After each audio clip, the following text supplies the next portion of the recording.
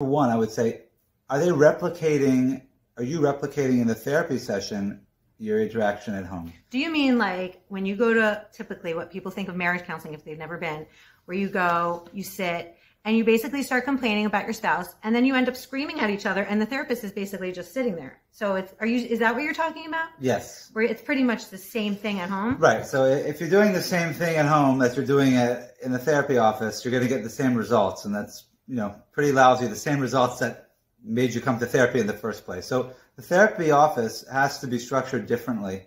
The first thing that I tell couples when I do a two-day private retreat with them is that before everything, the most important thing over all of the issues that you have is safety.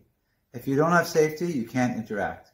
So um, creating an environment with emotional safety where, and, and what we do is we have the couple facing each other. This, they're not talking to me about each other, they're talking to each other